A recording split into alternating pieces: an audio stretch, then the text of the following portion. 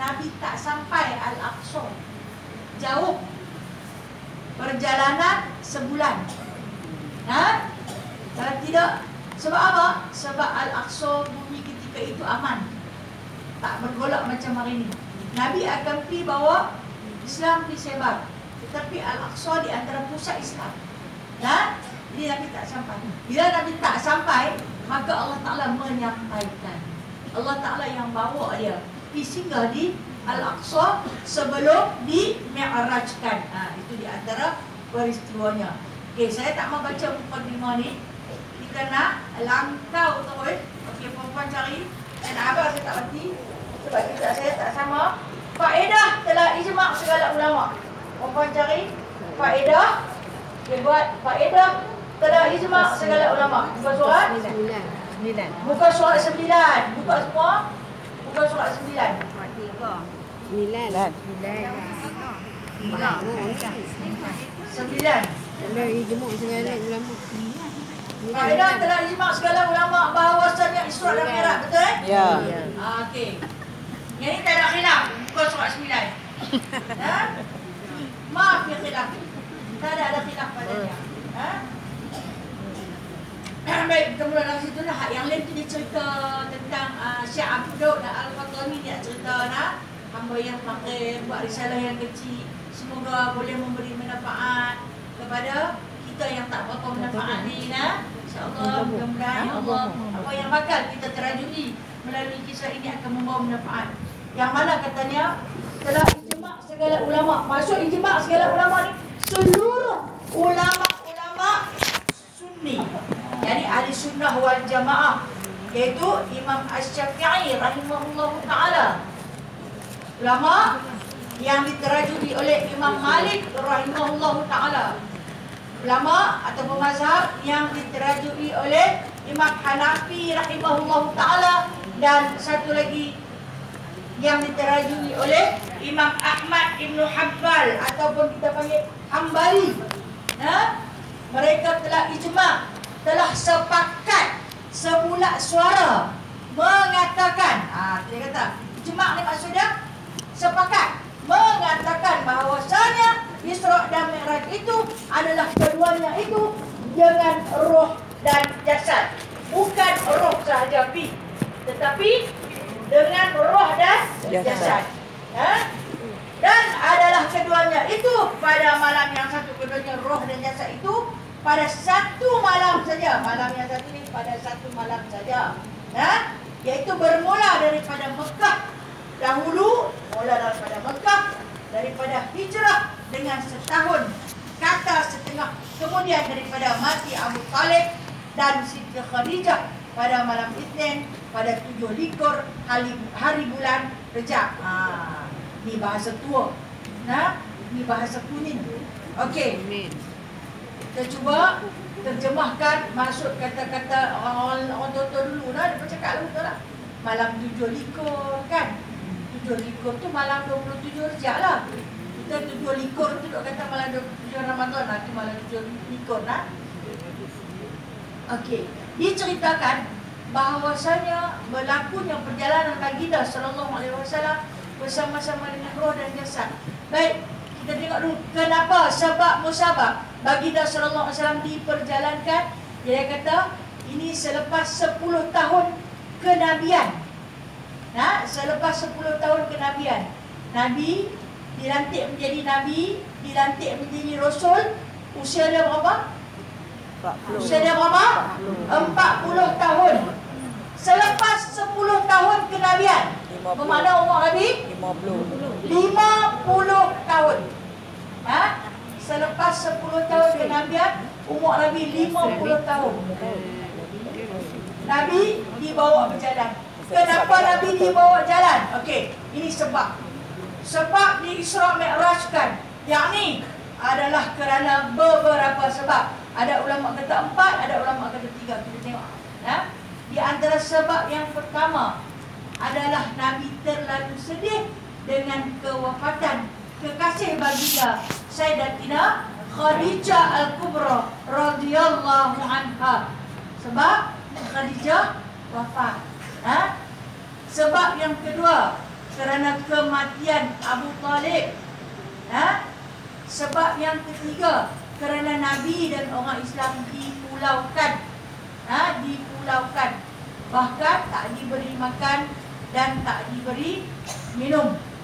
Dan sebab yang keempat, Nabi diancam hendak dibunuh pada malam 27 Rejab tu. Apa sebab? Empat. Empat sebab. Okey, kita cuba ceritakan di antara satu persatu sebab.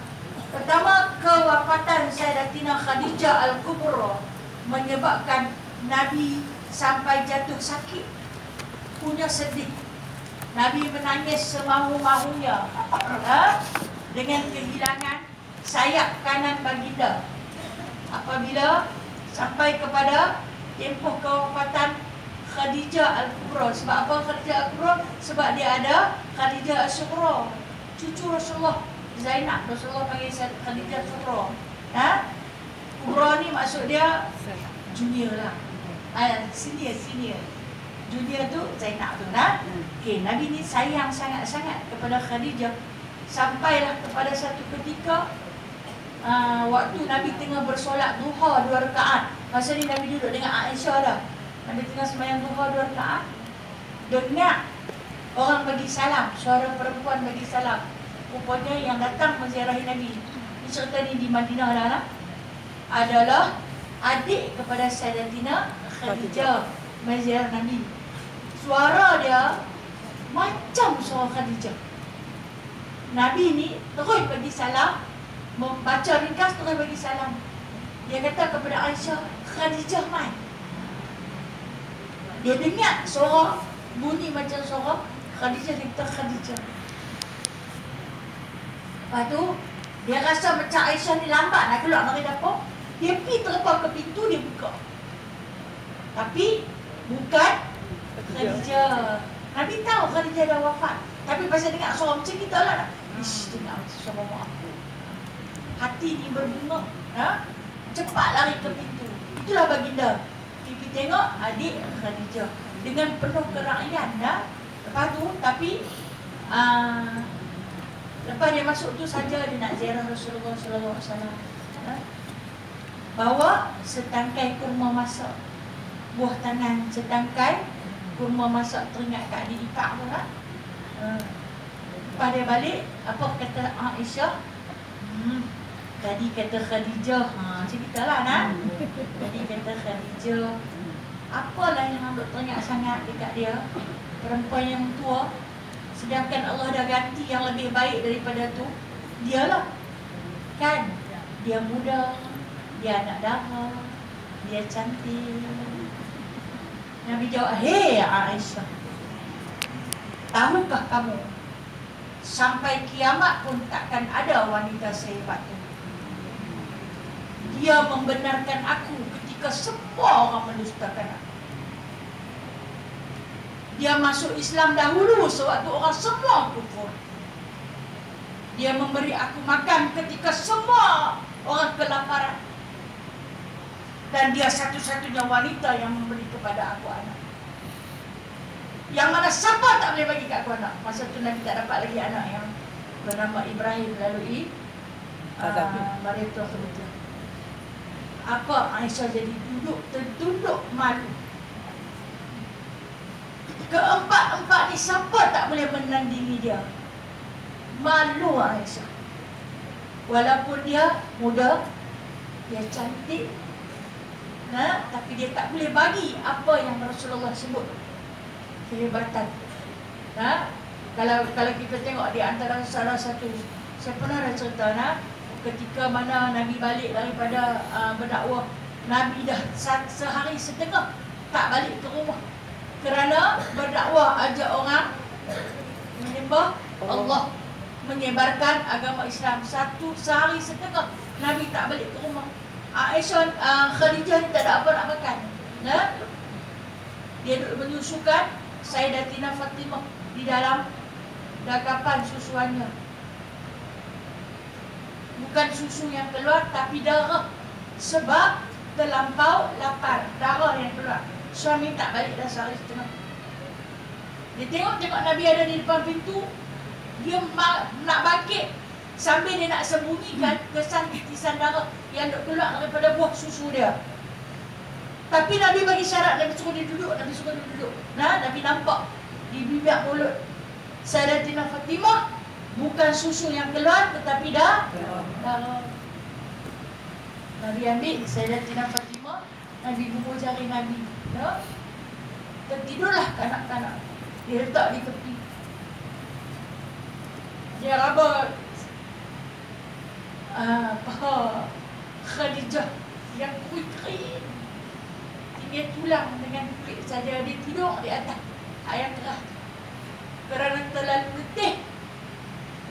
Baginda tertidur. Waktu Nabi, Nabi tidur di atas rimau dia tu Kalau kita kita tak bagi dah tak balik sampai setengah Aku tak ada apa nak makan ha?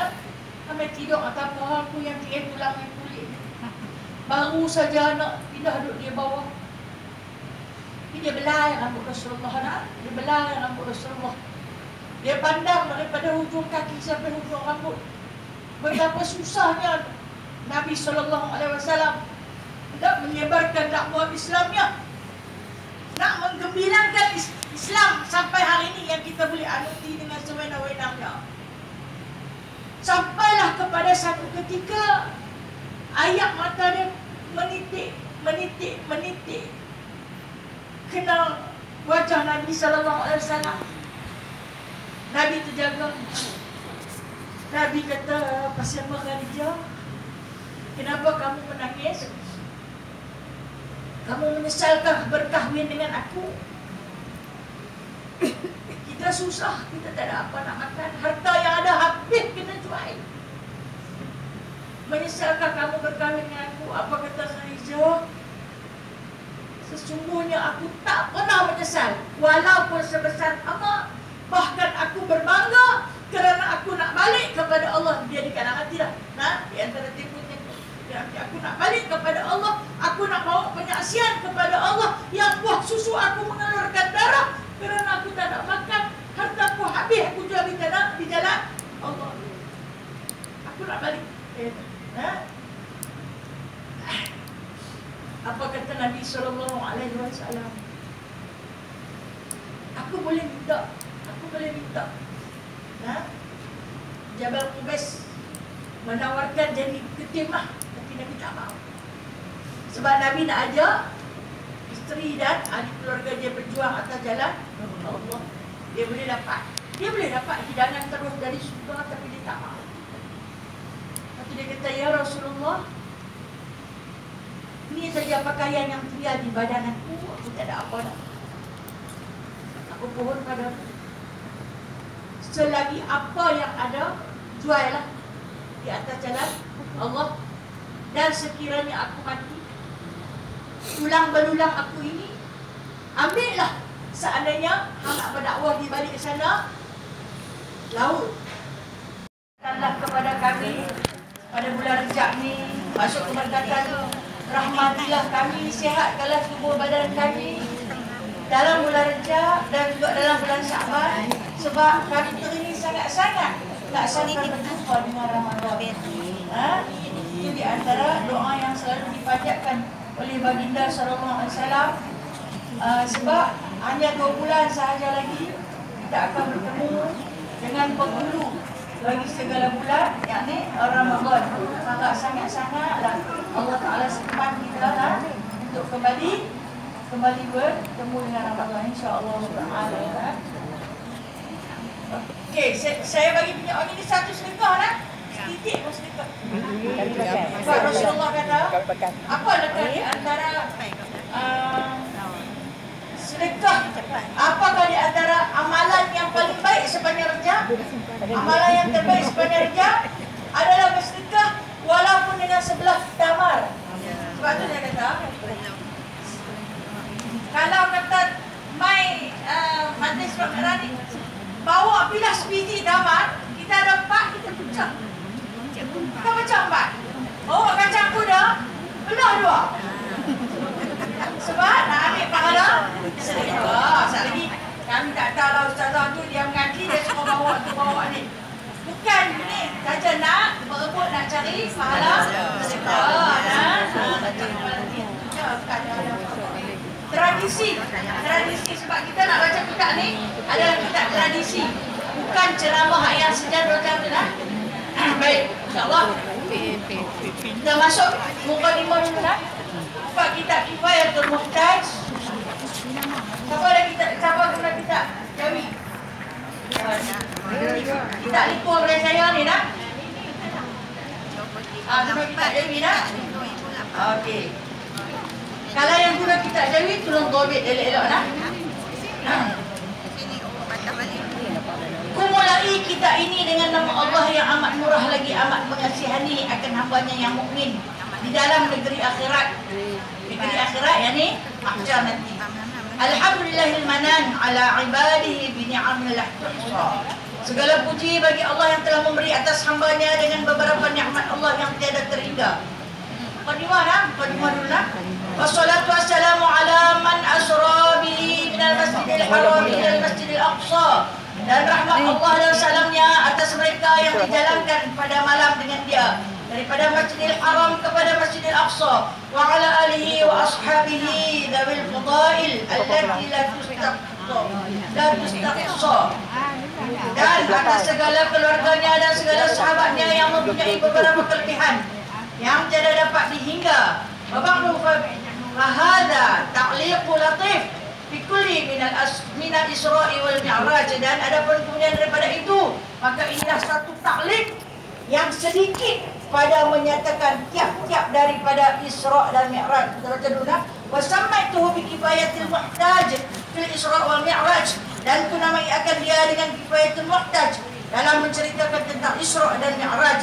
Ta'alahu Allahu khalisan liwajhihil karim telah menjadikan dia oleh Allah Ta'ala semata-mata bagi zatnya yang maha mulia nafi'al li talibihi yaumil mab lagi memberi manfaat bagi yang menuntut akan dia pada hari kembali kepada Allah Taala. Maka Allah Subhanahu wa taala berfirman dengan bunyinya A'udzubillahi minasyaitonirrajim. Subhanalladzi asra bi'abdihi lailan minal masjidil haram ilal masjidil aqsa alladzi barakna hawlahu linuriyahu min ayatina. Innahu huwas samiul basir. Maksudnya Maha suci Tuhan yang menjalankan dengan hambanya Muhammad sallallahu alaihi wasallam pada malam daripada Masjidil Haram kepada Masjidil Aqsa yang kami berkatkan kelilingnya supaya kami perlihatkan dia beberapa tanda ajaib. Di, antara kudrat dan kekuasaan kami bahawasanya iaitu amat mendengar. Allah itu amat mendengar lagi amat melihat. Baik ini satu surah yang dibawa datang bagi kepala surah surah Al-Isra Juzuk Juzuk Pandai. Juzuk 15 nah? Yang mana? Awak-awak tadi mukadimah. Pengarang kitab kita Dia habang nah? Dia buat satu taklik Satu pergantungan. Pergantungan satu kisah Satu cerita Melalui ringkasan yang ditulisnya Dengan Menggunakan kalimah Allah Subhanahu wa taala juga selawat dan salam ke atas junjungan besar Nabi Muhammad sallallahu alaihi wasallam yang mana dia kata pengarang kitab kita ini Syekh Daud Al-Fatani. Kenal tak dia? Kenal. Pengarang kitab apa? Muniyatul Musalli.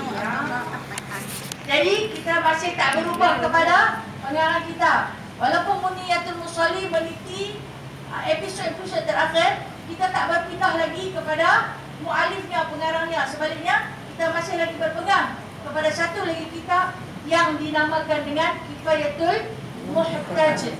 Kifayatul Muhtaj ini sesuatu hajat yang paling besar. Kita memang berhajat sangat kerana Allah Subhanahu Wa Taala mengurniakan mukjizat kepada Nabi sallallahu alaihi wasallam dalam dua bentuk. Satu disebut sebagai mukjizat hissi atau hasi. Satu mukjizat maknawi yang tak boleh dilihat tapi wajib dirasai. Okey. Yang dikatakan hasi ataupun hissi itu sahabat boleh tengok. Ayat pula melalui celah jari Nabi makanan sedikit pun jadi banyak boleh ramai orang makan bulan terbelah dua boleh berbicara dengan binatang-binatang ha? dan banyak lagi lah dengan tumbuh-tumbuhan dengan batu uh, Rasulullah diberi mukjizat. Itu dipanggil mukjizat hissi satu lagi Allah Ta'ala bagi mukjizat yang berbentuk maknawi. Mukjizat maknawi itu terbahagi kepada dua. Satu Al-Quranul Karim yang kita duk baca hari ini Bukan saja hari ini Tetapi sejak 1500 tahun yang lalu Hingga membawa kepada kiamat Itu mukjizat maknawi yang pertama Yang paling unggul. Dan yang kedua adalah mukjizat Isra' wal Mi'raj Yang bakal kita baca. Setiap tahun ianya dipromosi. Sebab Islam jika tidak dipromosi maka ia akan dilupakan. Sebagai umat manusia yang mengaku beragama Islam, kita wajib beriman, wajib percaya sesungguhnya Nabi memang dibawa Isra dan di-Mi'rajkan melalui sepotong ayat Al-Quran sebagai dalil nakli. Apa dalil nakli? Tanda yang sebenar-benarnya dipetik daripada Al-Quran Allah bawa mai, memang Allah bawa Nabi berjalan. Yang ni bukan cerita dongeng. Subhanallazi asra bi 'abdihi lailan. Maha suci Allah. Maha suci ini disebut subhana di sini iaitu satu lafaz taukid. Ah, sumpah Allah bersumpah dengan namanya Maha suci dia. Nah, suci Allah ini suci daripada segala sifat-sifat kekurangan Allah Subhanahu Wa Taala Maha sempurna. Dengan kesempurnaan Allah, tu dia boleh bawa jalan Nabi. Ha. Kita tak boleh bawa berjalan sebab kita tak sempurna. Nama kita tak suci. Bahkan terlalu banyak sifat-sifat kekurangan. Sebab tu kita tak boleh bawa. Maka akal kita yang kotor wajib disucikan dengan cara kena percaya. Kalau tak percaya, hukumnya syirik. Eh? Boleh jatuh akidahnya. Jadi wajib kita percaya. Ini mukjizat yang kedua, kedua daripada mukjizat maknawi. Okey. Yang mana kita nak teraju? Sebab Isra Mi'raj kita tak baca hari-hari lagu Al-Quran kan? Ha? Al-Quran kita baca pagi, petang, siang, malam. Tetapi uh, bab Isra Mi'raj ni dia main setahun sekali. Kadang-kadang secara berkitab Bertalakhi macam kita hari ini Dan kadang-kadang dia main ceramah Sekali lalu jadilah Nah untuk memperingati Kalau tidak generasi yang akan datang tak tahu Apa tu Nah apa dia Isra' Apa dia Mi'raj Kalau tidak diceritakan Jadi saya kata Orang yang duduk di dalam majlis ilmu Yang menadah kitab Kifayatul Muhtaj pada pagi ini maka di antara perintis untuk menyebarkan Isra dan Mi'raj kepada generasi kita. Ceritalah dekat depa. Ha, ha ni tu nak cerita. Ha, cerita Nabi diisrakan oleh siapa? Oleh Subhana. Yang ni Maha Suci Allah. Hanya hanya Allah sahaja yang boleh bawa jalan. Kenapa dia sebut dengan kesucian namanya dia kata sebab dia bawa jalan bi abdihi bi abdihi ni hambanya. Maksud dia bukan bawa berjalan roh Nabi. Walaupun ada pendapat yang kata Nabi Nabi jasad tapi roh saja pi macam mimpi. Mimpi memang kita mimpi kita tidur di sini. Mimpi kita tu dia boleh pergi merata kan? Ya. Jadi sebahagian daripada kelompok Mu'tazilah mengatakan bukan jasad dia pi, tapi roh dia yang pi. Roh tak ada tak ada apa lah. Memang boleh pun ni. Kerana dia boleh menembus segala titik roh ni. Jadi jangan kata nak ada ayat ketujuh bahkan lebih daripada itu pun boleh. Sebab mereka menukarkan keajaiban ciptaan Allah ini pada Isra' dan Mi'raj. Tetapi bila Allah Ta'ala bawa mai di abadihi maksud dia aku bawa hamba aku tu betul-betul. Hamba aku yang bawa bukan aku bawa roh. Allah Ta'ala tak sebut pun di sini asra biruhihi. Aku bawa jalan rohnya, tapi Allah Taala sebut asra bi'abdihi. Aku bawa hamba tu. Ha? Bukan pada waktu siang, pada waktu lailan. Pasal apa? Sebab disebut asra. Orang yang berjalan malam, masuk asra tu orang yang berjalan malam. dibawa berjalan malam. Tidak dibawa pada Siang. pada siang hari. Sebaliknya kenapa? Pada waktu malam. Kerana malam tiada matahari. Ya?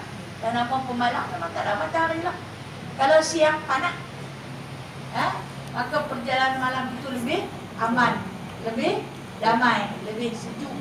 Sebab Nabi kan nak naik ke atas sana. Apabila ada pancaran cahaya matahari. Kalau kalau kata bagi kita lah. Kalau bagi Allah dia tak gitu.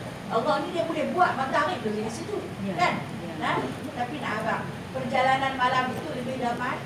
Lebih menenangkan. Lebih cepat. Dan uh, kata Allah Ta'ala lagi. Nah,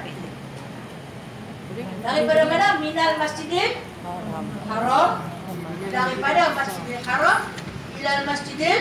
Aqsa sampai ke Masjidil Aqsa. Kenapa dia bawa pergi Masjidil Aqsa? Awak dia tak pergi masjid lain. Kenapa Al-Aqsa? Kerana Al-Aqsa adanya satu kerajaan yang pernah dihuni oleh raja sekalian manusia di dunia pada ketika itu iaitu Nabi Nabi Sulaiman. Sulaiman alaihi salam. Di antara nabi yang membina Masjidil Aqsa adalah Nabi Sulaiman alaihi salam. Dan di antara bumi yang kata Allah allazi barak yang kami berkat haulahu bumi al-aqsa itu Allah taala tumpahkan keberkatan di sekitarnya yang disebut sebagai al-aqsa itu Allah taala tumpahkan keberkatan. Ha? Sebab apa? Linuriyahu min ayatina. Untuk kami bagi dia tengok untuk kami bagi dia lihat tanda-tanda kekuasaan kami. Dalam keadaan baginda berguling bergolek ke sana bergolek ke sini ya. dan dia kata ada di situ dua orang laki-laki yang mana disebutkan di sini dia kata dia duduk di antara dia kata uh, berguling di atas lambungnya yang kanan mengiring di atas lambungnya rusuk kanannya antara dua kaki bapamu Pemuda. Pak saudara dia. Nah, bapa saudara dia. Siapa dia? Sayyidatina Sayyidina Hamzah. Hamzah Asadullah. Nah. Dan dia kata bapa mudanya bapa mudanya ni sepupu dia anaknya nah. Ja'far. Nah, yang kita panggil yang Nabi Oh, bilang ya. Ja'far At-Tayyar. At-Tayyar tu. Nah. Ha. Anak kepada Abu Talib. Tiba-tiba datang akan dia Jibril dan Mikail.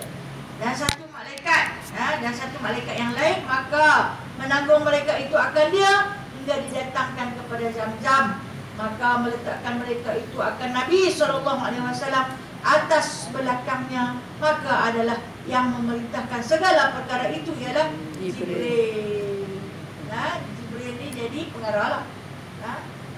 ha. Okey nak cerita Macam mana Sayyidina Hamzah dan Sayyidina Ja'far boleh ada di Baitullah ketika ni.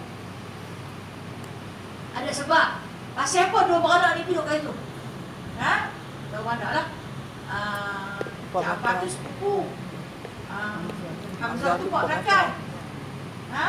Duduk dekat situ. Pasal apa dua orang ni ada? Mana dua orang lain? Pasal apa orang lain tak ada? Okey. Kan saya kata berlakunya pakatan untuk membunuh Nabi SAW. Jadi bila umur ni dapat tahu, dia bagi tahu kepada Hamzah. Bila bagi tahu kepada Hamzah, Hamzah bagi tahu kepada Ja'far. Jom kita pergi duduk tang mana? Tang mana Nabi duduk? Kata Hani, kata Ummu Hani ada di rumah. Lah ni hampa jangan di lain sebab apa? Depa bermusyawarah, depa nak main berkumpul di Kaabah, di Baitullah ni.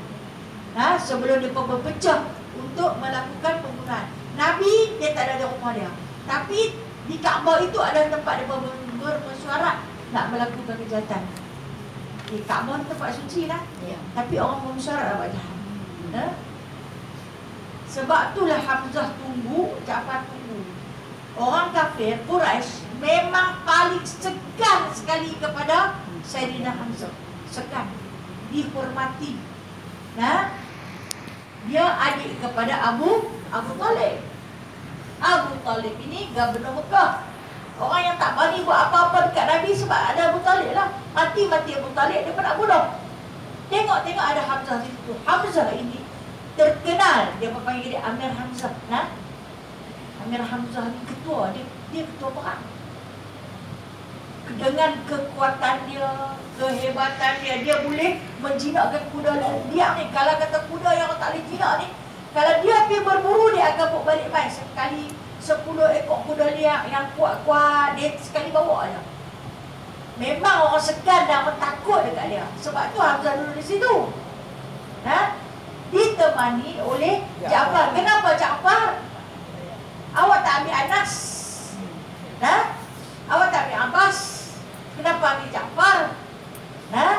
Sebab Ja'far di antara uh, sepupu Nabi sallallahu alaihi wasallam yang paling pandai ni perang dan memanah. Pandai ni pedang dan memanah. Ah, nah, cukup pandai. Buah dua tu pun sudah lah. Jadi orang memang pergi. Dia pergi dekat Kaabah. Tapi dia tak boleh dekat. Oi, tengok-tengok. Oh, ada dua-dua orang tak mana. Segan tengok. Awak apa segan tengok? Tengok anak Mahathir datang tu. Ha? Awak ni Bin? Kan? Kau ingat pok dia mati, anak dia tak lewat kau cakap dia, oh tak mati. Ha? Lebih kurang lagi pula, dah. Ya. Ha, itulah nak cerita. Pasal apa dua-dua beranak dua tahun tu? Ha? Macam mana boleh main pula? Itu di antara sebab kenapa yang penting. Ha? Okey. Kalau orang tanya kita, dia pun nampak tak Nabi? Kenapa? Kenapa dia bawa dia lihat? Sebab nak bagi dia sedar hati. Ah, ada dia nak kata dia. Ha? Nak bagi dia sedar hati. Dan nak bagi saksi apa yang Jibril nak buat ni. Ha? Ha. Jadi dia katakan lalu ditanggungnya. Angkat dukung. Angkat nah. Akan dia hingga didatangkan kepada Zamzam. Bawa pergi sampai kepada telaga. Zam-zam. Telaga Zamzam. Ha? Telaga Zamzam tu ada dekat Kaabah tu. Dan ni lah yang dipertutup kabur bang lah. Dia dekat uh, berhadapan dengan Multazam. Telaga Zamzam ni. Terbelakang sikit. Nah, bukanlah betul-betul dengan Multazam. Terbelakang sikit. Cuma ketika ini ditutup. Alah, manusia. Lagu zaman-zaman kita lah ni lah nah. Ha, pergi mandi, pergi kencing, pergi berak, nah. Sebab kau tak benda tu benda, benda suci. Kau orang nak minum. Kalau nak kencing tepi tu, air kencing tak usah mengalir, tak usah serak ke sana. Lepas tu orang tutup kan, orang tutup apa marah, nah. Ya tapi yang rugi orang lain tak buat lah, kerana seorang buat, habis Semua semua. Ha? Dan dia kata maka melentangkan mereka itu akan Nabi Muhammad sallallahu alaihi wasallam atas belakangnya bagi terlentang. Olehkan dia duduk kiri, lepas tu bagi dia duduk terlentang. Maka adalah yang memerintahkan segalanya adalah Jibril. Maka membelahkan dadanya daripada daripada apa? Rubah. Okey, daripada lubang. Lubang ni cuba tekan tadi. Ada lubang kan? Yang ni nama lubang. Okey? Kalau hak yang gemuk tekan tak kena. Ha? Okey. Hingga ke bawah perutnya sampai ke pusat. Ha? Cantik bila balik saya kan nak baca. Ha? Dari lubang ni lubang ni sampai ke Pusat. sampai ke pusat. Maka berkata Jibril bagi Mikael bawa olehmu dengan satu batil. Satu batil ni apa? Satu Bekas. Dekat air. Satu batil, satu bijana, satu mangkuk. Ha? Yang mana dia kata? Daripada air zam-zam supaya aku sucikan hati yang bukan. Eh? Satu berkaya, mangkuk ni bawa siap dah. Mangkuk emas. Ha? Yang dibawa datang daripada surga bersama dengan pakaian. Lepas tu dia kata, untuk aku sucikan hatinya supaya lulus. Luas. Luas. Luas. Luas dah, bukan lulus dah. Supaya luas dadanya. Kemudian maka dikeluarkan jantungnya dan dibelahnya kemudian dibasuhnya. Akan dia tiga kali dengan tiga batil daripada air zam-zam dan dikeluarkan barang yang di dalamnya daripada darah yang hitam. Maka berkata ia, inilah bahagian syaitan. Ha? Inilah bahagian syaitan. Okey, dia suruh Mikael dia ambil main bekas ayat ayat zam-zam. Kenapa zam-zam? Awak tak ambil ayat lain. Boleh bawa mai apa ayat daripada syurga.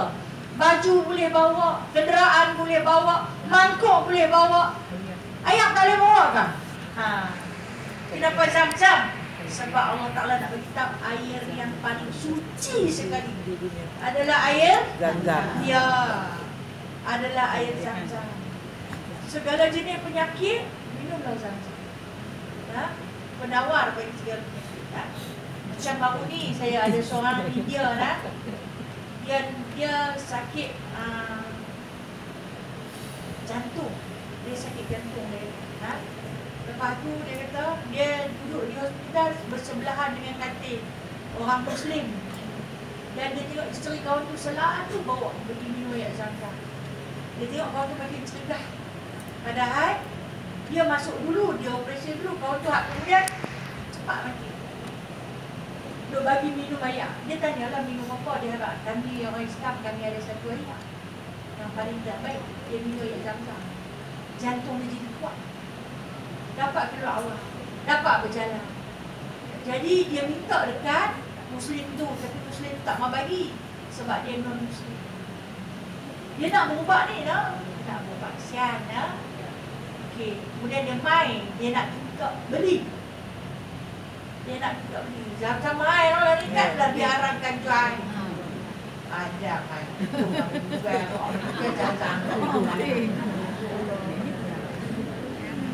Lepas tu Dia tanya nak buat apa. Saya nak bagi dia minum Nak bagi dia minum lah. Kesian lah Dia kata Dia cerita lah Cerita Cerita Cerita Cerita, cerita. Untung orang Islam Saya kata Untung kan orang Islam. Dapat minum Minuman berkat ya, Dapat minum Minuman yang paling terbaik Di dunia Inilah ayam dia. Dia kata jual lah Dia kata mahal Apa dia nak beli tak mau jual saya kata saya nak bagi dia minum bersama je. Ha, saya bagi dia. Dia kata dia nak minum hari-hari dia tak gila hari-hari pula rumah. saya bubur dalam mineral, ya, saya bubur dalam mineral kecil ni ya, tak besar lah. Saya kata jimat, jimat. Saya tak mau jual, saya nak bagi saja. Ya. Dan saya doakan kepada Allah Ta'ala agar dibukakan hati dia. Depan dia saya berdoa lah. Saya berdoa kepada Allah Ta'ala Semoga dibukakan hati dia untuk menerima Muslim, untuk menerima Islam dan Allah Taala sembuhkan penyakitnya seperti sedia kala. Saya doa pada pada Allah. Nah, saya kata balik minum tapi jangan banyak-banyak. Minum sikit-sikit niat nak berubat. Nah, dan saya kata kamu pasanglah niat saya kata dia. Kalau sembuh nak masuk Islam. Kau pasanglah niat. Gue tak boleh. Tak. Tokong. Apalah saya kata, pasang lah. Dia tak boleh, tak boleh. Dia mau dia niat dia mau bagi botak saja kepala. Apalah? Jadi nak apa? Lazan dia orang boleh. Boleh lah. Boleh ketika dia berhajat saya kata. Tapi kita berupaya dapat nak bagi dia minum lah. Tapi kalau dia tak boleh lah. Boleh Air yang terbaik di dunia. Itu kelebihan dia. Eh, sikit lagi dah. Sikit lagi. Kot dia kata bayar aku. Ambil tulang aku. Ikatkan dia jadi rakit. Dan seadanya hang nak berperang. Tapi tak ada senjata. Gunakan tulang rusuk aku menjadikan dia pedang. Dia nak guna sehabisnya apa yang ada dalam jasad dia untuk perjuangan Rasulullah sallallahu alaihi wasallam. Siapa tak berani lah sampai tahap tu punya hebat wanita yang bernama Sayyidah Khadijah Al-Kubra. Dan pada hari kewafatan Khadijah tak ada kain untuk kapankan dia. Tak ada kain untuk kapankan dia. Itulah pakaian yang dia, bagi kepada kita. Ini saja. Ha? Jibril bawa dari surga. Kain untuk mengkapankan Nabi sallallahu untuk mengkapankan Sayyidatina Khadijah radhiyallahu Ya Allah. Hebat. Wanita yang bernama Khadijah. Kenapa Nabi menangis sampai setahun? Pasal inilah. Ha? Pasal inilah. Dan diceritakan Dia makan pucuk kayu. Dah, dia makan pucuk kayu dan kulit kayu. Bila dia dia dia dah dapat pucuk kayu sampai tak ada nak. Lepas disulaukan selama tiga tahun. Bila pucuk kayu ni Suruh sikit Habis Orang pakai putih makan Satu hari Dia keluar daripada rumah dia Pucuk kayu tu Allah Ta'ala bagi keluar Untuk dia petik dan dia makan Dia ambil pucuk kayu tu. Dan dia ambil kulit kayu. Dia ambil kulit kayu. Bukan kulit kayu mana tak Dia masuk dalam rumah dia.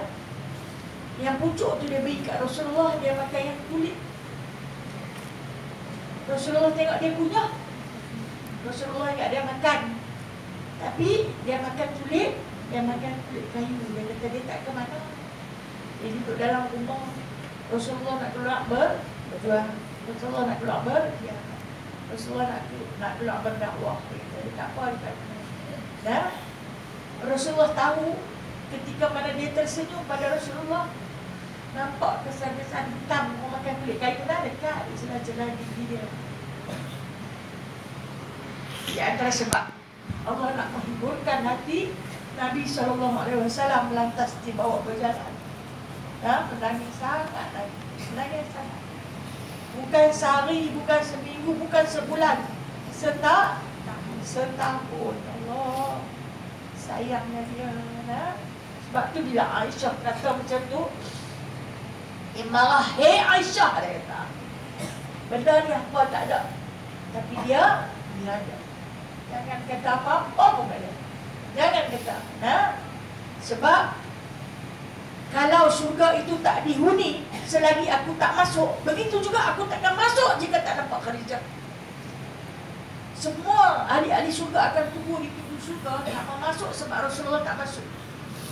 Dan Rasulullah kata, aku juga takkan masuk selagi aku tak nampak Khadijah. InsyaAllah, hebatnya wanita. Allah Ta'ala nak hiburkan hati kekasih Nabi SAW. Maka Allah Ta'ala bawa berjalan. Ha? Wafat. Ha, kematian Abu Talib, seorang bapa saudara yang cukup sayang kepada Nabi yang menyokong penuh perjuangan Nabi yang memberi semangat kepada Nabi cuma Nabi paling sedih kepada Abu Talib adalah kerana dia mati kafir ha? dia tak masuk Islam sebab itulah yang Nabi menangis tahu yang sama tu lah Allah Ta'ala bagi bertipa-tipa tu. Dah Nabi dalam, dalam tempoh pemulauan Nabi di pulau. Tak ada apa nak makan.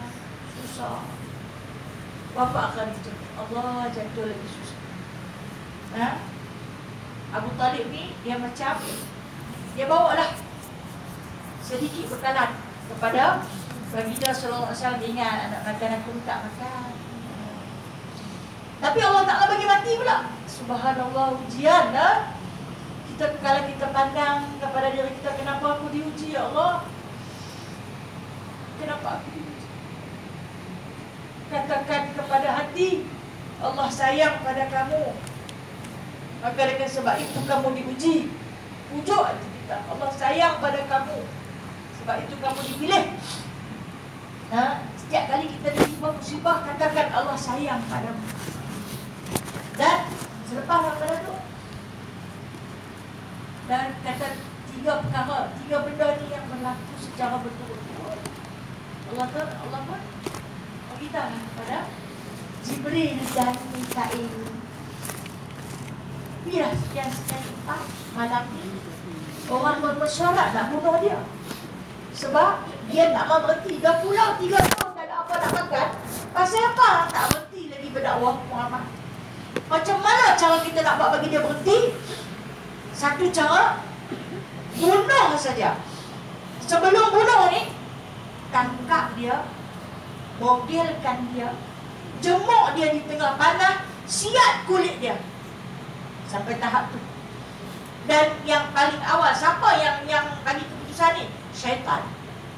Yang paling awal tarik lidah dia keluar potong maksudnya jangan bunuh begitu kalau bunuh dia mati ni kita tak nampak azab dia tapi siksa dia Sewaktu syaitan-syaitan ini bermusyawarah dengan diketuai oleh Abu Lahab. Mereka lupa ada satu zat yang maha merancang dan maha menentukan. Yang ni Allah, Allah Ta'ala. Hampa nak buat tu kekasih dia. Oh? Dan Allah Ta'ala itu bertindak lebih baik, lebih awal. Dia pun dah atok perancangan dah siap dah. Ha? Masuk. Tak? Nabi ni dia dapat tahu. Siapa dengar? Ummu Hani. Mak saudara dia dengar. Pakatan sulit yang nak buat dekat dia ni. Nabi dibawa Ummu Hani bawa mai. Dia dengan duduk sedih tak habis lagi. Orang nak bunuh pula. Ha? Ummu Hani ajak pergi ke rumah dia. Kalau ni tidur di sini dah orang nak sekian-sekian. Demi menyelamatkan nyawa Nabi, Nabi pergi. Ha? Nabi pergi. Satu penyaksian. Satu penyaksian ketika mana Allah Subhanahu Wa Taala memerintahkan kepada Jibril alaihi salam ditemani oleh seorang lagi sahabat beliau iaitu Mikail. Malaikat Mikail ni kerjanya buat apa? Bagi juga rezeki. Membawa rezeki. rezeki. Ya, dia membawa rezeki yang Allah Taala sebarkan di muka bumi ni ya. Okey. Awal-awal Allah Taala perintah kepada Jibril cari sepasang persalinan, salin baju dulu. Ha? Rupanya orang nak berjalan jauh. Awak Nabi tak ada baju, memang Nabi tak ada baju. Nabi tak ada. Kalau Khadijah nak dikapankan pun tak ada kain kapanan. Lepas tu, bawa kenderaan. Sebab nak jalan jauh, tak boleh berjalan kaki. Bawa kenderaan. Nabi ambil di mana? Ambil dalam surga. Dibawa pakaian sepasang persalinan yang cantik. Yang Nabi tak pernah pakai. Nabi tak pernah pakai kain yang mahal. Nabi tak ada pakaian yang cantik. Dapat fakirnya baginda yang menjadi jutawan di surga. Malunya kita. Malu kau. Malu kau Rasul. Lepas tu, cari sekok borak. Kenderaan, cari borak. Kata Allah, kenderaan seekor binatang yang laju pergerakannya dan ada dalam taman surga. Pi, pi tengok badak borak tu. Tanya malaikat Mikail, yang mana satu nak ambil ni badak? Cari yang berwarna putih susu. Ha? Yang berwarna putih susu. Yang di dahinya ada tulis Muhammad. Pi, ada sekok tapi duk teriak. Dan duk menangis, tanya pasal apa kata Allah dia rindu kepada nama yang tercantik di kepala dia tu.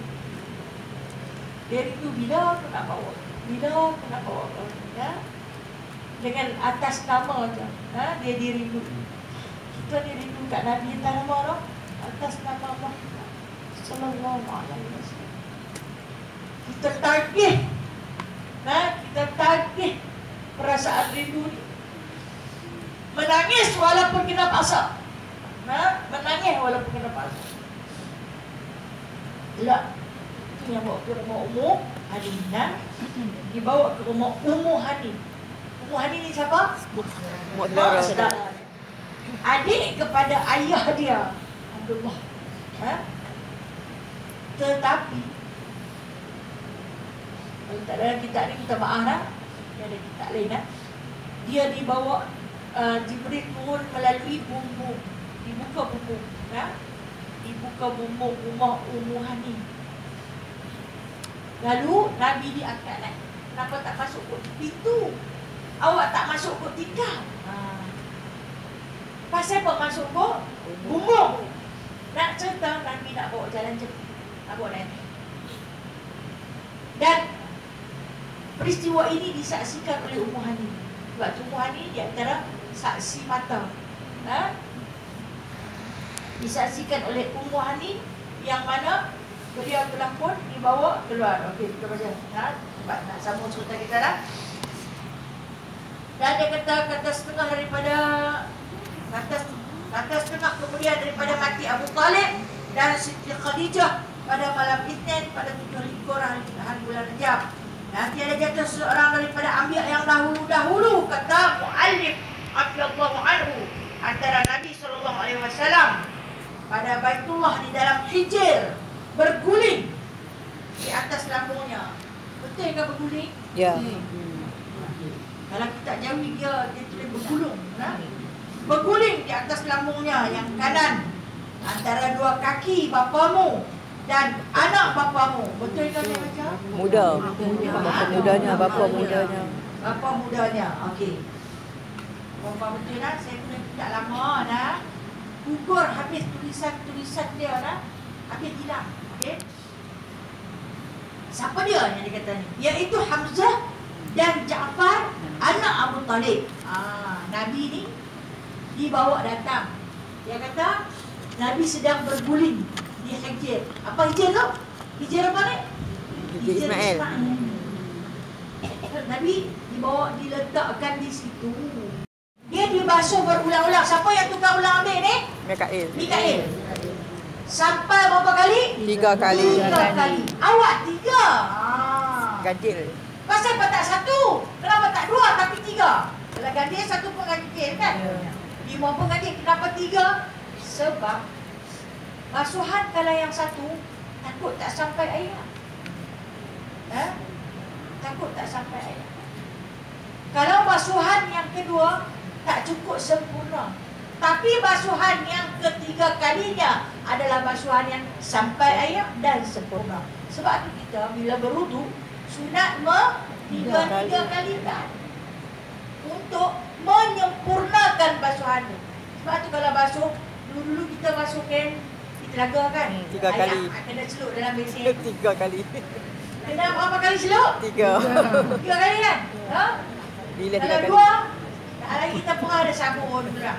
Itulah masuk tangan tu lah ni tak nak ha, bagi kat mek jemput tu. Ha, lah dah. Saya baru ni mesin basuh ada guna tu dah rosak. Beli lagi satu. Mesin basuh kan tak ada susah lah, pakcik susah. Dia kan ada tangan tangan. Dia tu ustaz tanya mak 15 kilo kan yang agak-agak nak buka dua hutang. Tapi lagi banyak fikir kalau kau minum 15 kilo, kau belok tiga tiga mati basuh dah lalu. Belok kan dia pukul hidup tunggu je. Okey. Kita basuh berapa kali? Tiga. kali kan? Sebab basuhan kali ketiga adalah basuh ayam. Kita basuh ikan, kita basuh ayam, kita basuh daging begitu. Kita tiga tiga kali kan, insya Allah. Basuhan yang sampai tiga kali, insya Allah bersih. Ha? Ni dan kita bukan baca saja ni, ada penuh dengan ilmu. Penuh dengan hikmah. Apa yang Allah Ta'ala buat, kelakuan yang dilakukan oleh Jibril dan Mikael itu penuh dengan hikmah. Ha? Kemudian dia kata didatangkan Jibril dengan satu batil yang lain. Ha. Dia main hati, dia main jantung. Dia agak kata, dalam ni ada satu tempat darah hitam. Darah beku di dalam ni, kata Jibril. Inilah tempat duduk syaitan. Kita dalam jantung kita ada satu tempat duduk syaitan. Dia nak abang, ha? Hak yang duk kacau semayang kita tu. Yang duk kacau segala amal kebajikan kita, segala ibadah kita. Yang tu lah. Tu ada no? Ada. Tengah-tengah khusyuk jadi tak khusyuk. Tengah-tengah nak kunut, lupa kunut, turun tak. Kita ni habis-habis. Habis-habis baca surah ni. ah, Dia dekat habis dua dah. Turun. Saya kunut dah. Saya lagi kunut dah. Eh dah, eh dah. Sami Allahu liman hamidah. Terus ke bawah. Sampai-sampai dia orang aku tak kunut. Tak. Tak kunut. Sawi. Sawi lupa.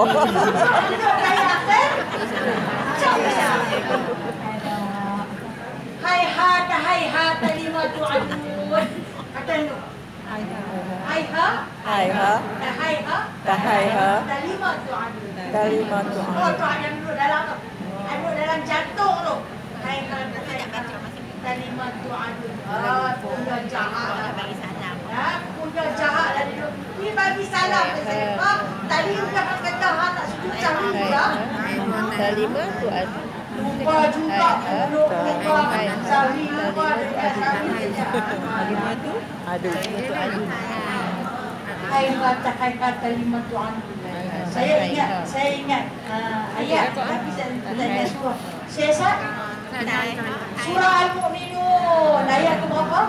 Tak ingat Surah Al-Mu'minun Hai kata hai kata lima tuan Terima kasih Kepada yang berkongsi ilmu ya Surah tengok dalam surah Al-Mu'minun ayat tak ingat tau. Mohon maaf saya bukan tahfiz tau. Uh, takat tu saya boleh bang. Tak saya. Ya, ayat duduk dalam jantung. Ayat duduk dalam tu. Kita kadang-kadang amal lupa sangat ah. Awak ni ayat. Ayat Tiga enam tu lah. Ayat apa? Tiga enam. Ayat 36. Terima kasih sahabat yang berkongsi itu. Tiga puluh enam. Surah Al-Mu'minun ayat 36 ayat ayat tadi macam balik. Ha? Buat gaya buat. Ha? Buat gaya buat. Hayat hayat tadi Tuhan. Ali buat buat jahat sangat. Ha? Punya minum zam-zam tu bergeleng-geleng. Awak dia tak suci mana? Ha?